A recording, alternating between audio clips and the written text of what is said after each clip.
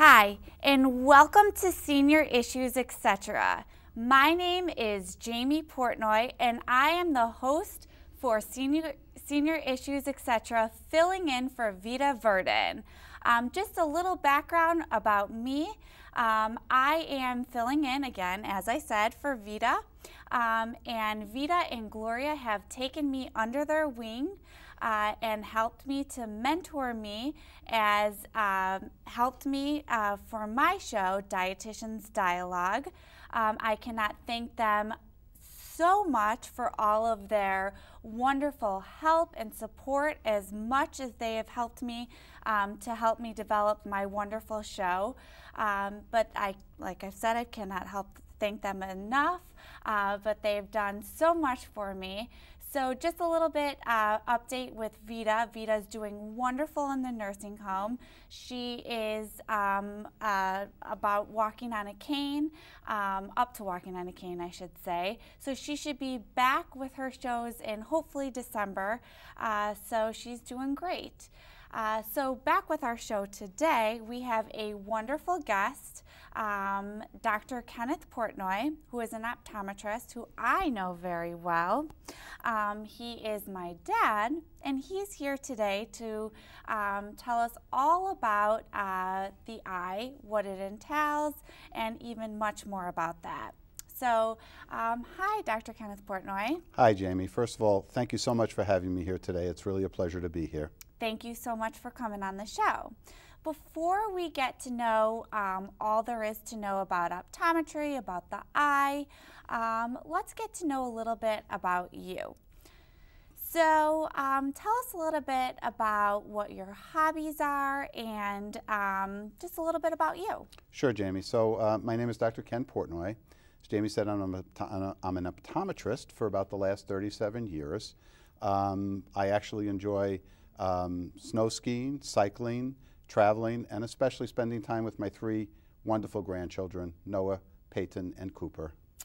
So, as this is Vita's show, and um, we have to follow obviously Vita's tradition. Mm -hmm. So, I know Vita loves every one of her guests to blow kisses to obviously people that they love.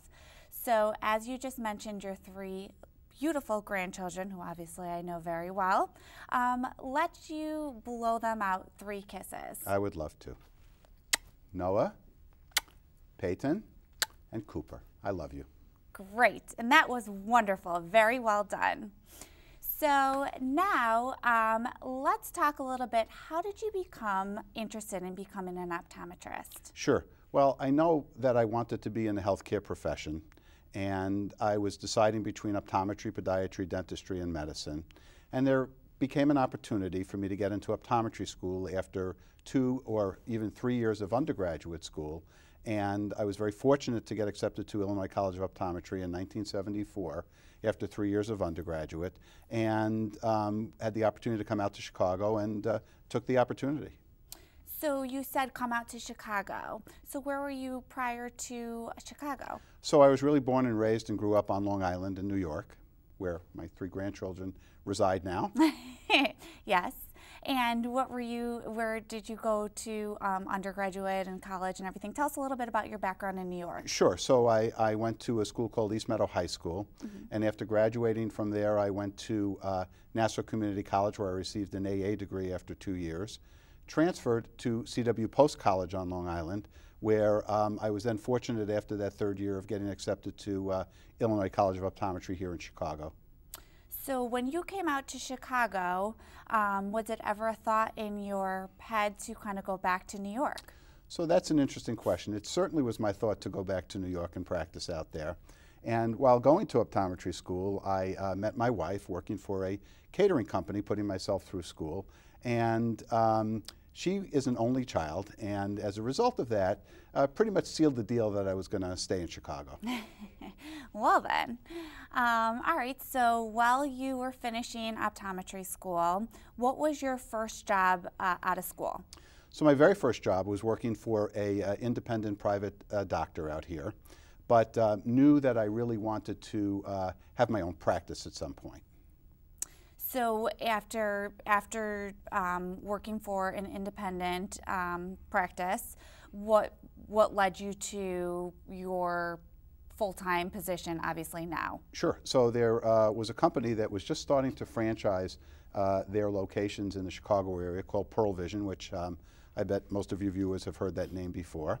And uh, there was an opportunity in uh, Wheeling where in uh, September of 1982 we opened up our first uh, Pearle Vision. So obviously, um, I'm sure most of our viewers are very familiar with Pearle Vision. Um, and as you said, you have one in Wheeling, and what is the other one? So uh, 13 years ago, we opened up our second location in Lake Zurich, Illinois.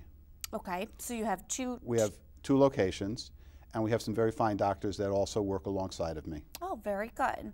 So let us know a little bit about what a typical day is like. Sure. So um, our, our day in, in, in, our clinic and our office uh, is seeing a wide variety of patients. We can see children, adolescents, adults, and, and, and seniors.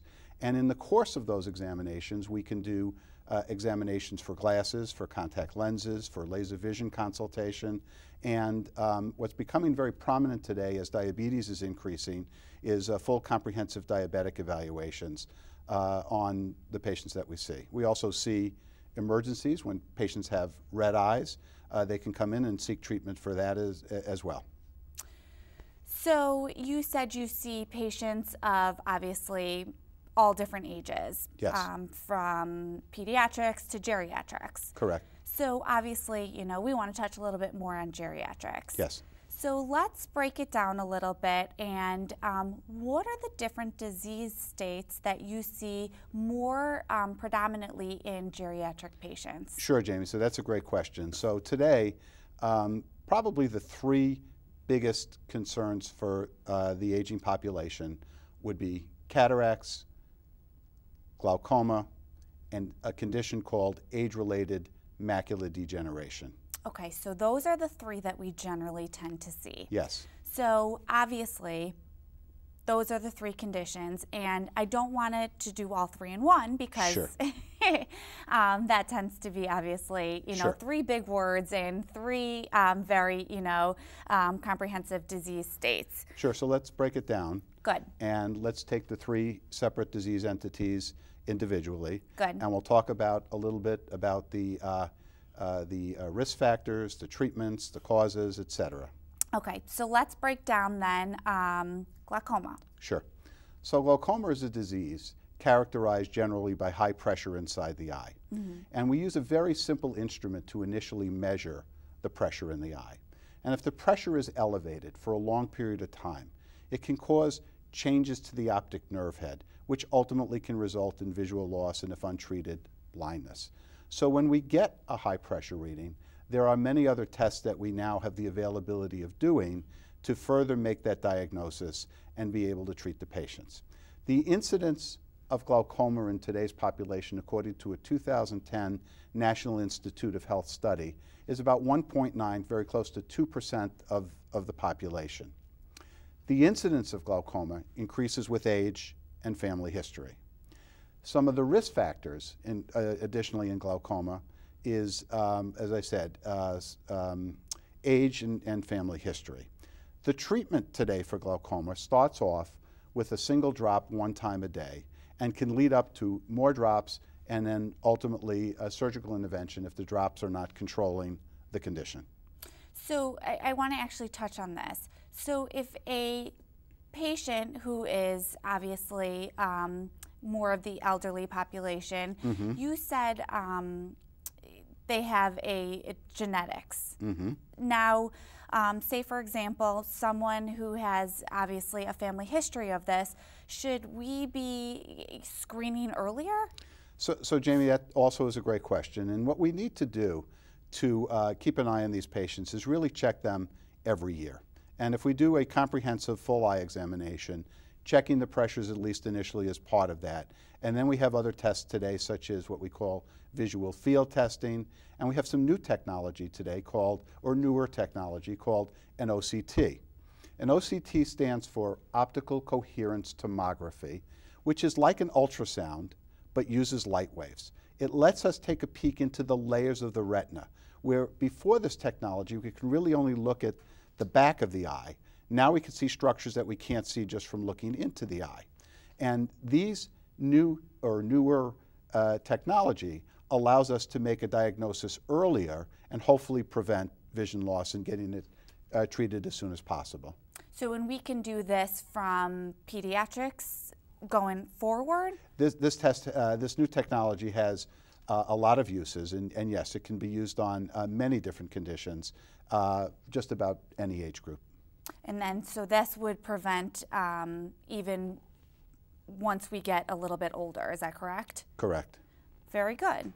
Um, and now let's go on to the second disease state. Sure. And that is, um, as we stated, um, cataracts. Cataracts. Sure. So cataracts um, is, is a condition that basically if we all live long enough today, we'll all get it. Probably about 50%, again according to another National Institute of Health study, of patients over 75 will get cataracts. Um, cataracts is a cloudiness of the lens inside the eye. The lens inside the eye is normally clear like a piece of saran wrap, but as it ages, it becomes more cloudy, more filmy, more milky, more like a piece of wax paper rather than a piece of saran wrap. When the vision is reduced in cataracts, and it's reduced below a level of approximately 20/40, which by the state standards is the minimum to pass the vision part of a driver's test, we would then refer that patient out for an evaluation and treatment that is basically consists of surgery today to remove that cloudy lens and put an IOL or an intraocular lens implant into the eye. So, is there anything, obviously, as you said, um, you know, ultimately we'll probably all get cataracts at some mm-hmm. point. Is there anything that we can do to prevent the cataracts? Uh, another great question. Um, you're my daughter, so I know you got great questions. uh, but those risk factors with cataracts include um, smoking, excessive ultraviolet light exposure, diabetes, obesity, prolonged use of corticosteroids, and all these things can contribute to um, the formation of cataracts, even possibly at, a, at an earlier age. It doesn't preclude somebody from getting a cataract in their 40s, where this whole process of the lens changing actually starts. So basically, again, obviously you said obesity and, and everything. So it's kind of just everything in, in moderation. As a, as a dietitian, we kind of just tell our patients everything in moderation too, and in, in, diet, exercise. Um, so you just kind of want to um, want to just keep watching. Is that what you're doing? That, that's a very good. That's very good advice. And because we don't know how fast a cataract is going to progress or mature or ripen um, we may want to reevaluate that patient in three months, in six months, or a year, because you just don't know when that cataract is going to be is going to be ready. So keeping a close eye on them, seeing how comfortable the patient is with their vision, and when we get to a point where we can't correct it with lenses anymore, and it falls below that roughly 20/40 threshold, that's the time that we would send them to a surgeon for, for that evaluation. So um, also same thing too with the cataracts um, by just doing yearly checkups and yearly, I shouldn't say checkups, but um, comprehensive examinations. Comprehend comprehensive examinations, um, you'll be able to kind of pinpoint when um, or if they need more of a referral for. A absolutely. Okay. Now, another one that we kind of mentioned was um, macular degeneration. Sure. And you kind of said something more along the lines of when um, the more of the geriatric population, um, you had a different name for that. Is that correct?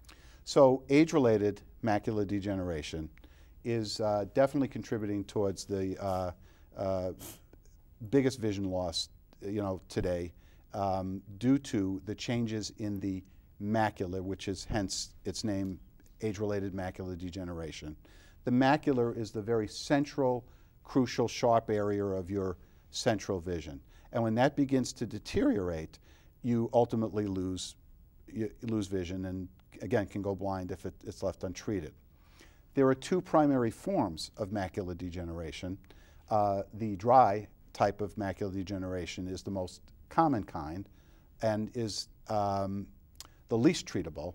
And then there is wet macular degeneration, which affects the least number of patients. However, uh, there are some uh, treatments and remedies today by the retinal specialists of injections that can um, help slow this uh, progression and loss of vision down. Additionally, in age-related macular degeneration, um, there has been some studies done, and these studies were called AREDS. I guess in the medical field we love an acronyms, and uh, ARED stands for Age-Related Eye Disease Study. And there were two of these studies that were done. The first ARED study and the AREDS 2 study. And in that study, patients were given a combination of certain antioxidant vitamin and mineral supplements. Based on the second study, there are over-the-counter vitamin and mineral supplements that may attach the name of AREDS 2 to it or PreserVision. And these particular combination vitamin mineral antioxidant supplements have been shown to slow the progression down of people who have this condition. So these um, vitamin mineral antioxidants, are they beneficial for for people who are aging that um, don't have macular degeneration? Is there any research on that? So I don't know that we have specific medical evidence to conclude that taking these pills will prevent you from getting it. Mm -hmm. um, I don't know that that's a study that could really be done, but they are over the counter. There's nothing in these supplements that are going to hurt the majority of people. True. Especially in the newer AREDS 2 formulations, where certain substances were removed from that, like beta carotene and vitamin C. Um, the newer pills uh, have been shown to be very effective and have a very minimal amount of, of side effects and complications. So one other thing I want to touch on with macular degeneration is once a um, patient is diagnosed with macular degeneration, mm-hmm. um, what's the next steps? So the next steps are to very uh, is to monitor them extremely closely, uh, usually every at least every six months, utilizing that technology that we talked about before, the OCT or optical coherence tomography, which is a very painless, quick test can um, tell us about the state of that disease, tell us about the state of progression by doing an analysis comparing it to previous scans. And um, ultimately, if we start to see these changes, we then would refer these patients to a retinal specialist for further evaluation and ultimately treatment if necessary. Very good. So, um, and these are the three that we generally see um, in the aging population. Is that, that, correct? That is correct. And if you would, I can go back and touch on um, cataracts a little bit more. Absolutely. There was something that uh, is interesting that um, many, many years ago, um, probably in our grandparents' time, patients were hospitalized for cataract surgery and they had to wear glasses that looked like uh, fried eggs and uh, were very difficult to get used to. So today, as I was indicating, we use something called an IOL or an intraocular lens implant that um, is uh, very great technology that gives their patient almost their normal distance vision after surgery. Today, there are choices in implants that the surgeon will discuss with the patient, and that is what we call toric IOLs or special implants for patients who have astigmatism multifocal IOLs to eliminate um, glasses for both far and near, and a newer type of cataract surgery called femtosecond, where a laser is introduced, making that procedure uh, more effective today as well. Very good. And another thing I do want to just touch on real quick is um, what is the newest technology and, and what is the newest technology that you're using? So the technology that we use today um, has varied since I first got out of school. I'm sure. um, we have very sophisticated visual field instruments that help us map out any loss of vision in the periphery or central part of your, of your eyes. Uh, we have cameras that take pictures of the back of the eye and, you know, what do they say? A picture is worth a thousand words. And True. rather than previously having to draw it out, we take these pictures and we can compare them year over year or six months over six months. Uh, we have that OCT, fabulous technology that allows us insight into parts of the eye that previously we weren't able to see with the instruments that, that we have. We have um, autorefractors today that in children and adults and seniors that give us and tell us what it thinks the prescription is objectively without the patient saying which is better and which is worse.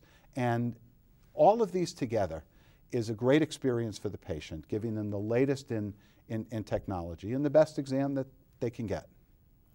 So, do you foresee, because obviously technology is changing, you know, as mm-hmm. we speak, technology to change in the near future as well? I, I believe that there are still ongoing investigational studies of new instruments, new medicines, new therapies that are will definitely help to um, to further, you know, help our patients. Is sure, that correct? A- absolutely. And, um, you know, obviously, um, you, what, what are your goals and what are your, obviously, aspirations? Well, our, our, our goals are, and, and one of the nice things about optometry is, is that you could see your results almost immediately. So when you have a patient who maybe has uh, an elderly patient who has an early cataract, they may at that age have a big change in their prescription. But you can go in and you can examine that and you can change their glasses. And they came in because they were unhappy and they couldn't see. And even before referring them out, sometimes we can change that prescription, get them to see better, and the results are, are pretty much immediate. And, and that's one of the beauties about optometry. Very good. And one thing I knew, I know I just asked you your goals and aspirations, and, and that there's nothing wrong with that. But um, one thing I do want to touch on real quick, and um, and I know this isn't obviously, I'm sure you know seniors want to know this as well. Mm-hmm. Um, but you know, laser vision and and PRK, it can, and I know you do, and obviously you can you can touch on this. You do the pre and the the post op. Sure. What if someone wants to come in and do that? Sure. So uh, for the last more than dozen years, I've been co-managing laser vision correction. I do the pre-op and post-op workups and the consultation. And it's not limited to a 30-year-old patient. Uh, we have a patient of ours, and I believe she's um, north of 80 years old and had it in her 70s and is doing wonderful and loves it. And even after laser vision correction, if they develop a cataract, the same procedures take place. They have cataract surgery. Um, laser vision correction can be done where um, it corrects the far vision, and um, then you would need reading glasses. It can be done in a form called monovision. Mono means one, where you correct one eye for far and you correct the other eye for up close. So um, being a senior does not preclude you from having laser vision correction, and a full examination and a consultation would let us know if you're a candidate for it or not. Good. And that's something I think is important because I think sometimes you know, depending on whatever age we are. And maybe, you know, someone would think, how about actually, you know, touching on this as well, even if you're, you know, under 18, can you do that? So um, my guidelines, and they may differ from practitioner to practitioner, but my guidelines are generally, um, I prefer to wait until the patient is at least 21 years old for laser vision correction. And the reason for that is, is in your late teens and early 20s, um, your vision can change a little bit. So why do a procedure where the patient still potentially can have some change after that and may need a second or third procedure. So in, in my practice, um, we don't begin to talk about that until they're 21 or over. And in a lot of these patients, being there for 33 years, we've seen time over time, and we can see if their prescription is stable. In fact, we did your sister um, when she was 21, but her prescription was stable. It didn't change. And um, that assures us of, of positive outcomes and happy patients and great vision. Very true. And then also, I want I want you to touch real quickly on um, seniors and everyone. Should they wear contacts to bed? So, let me divide that into, into two parts, okay?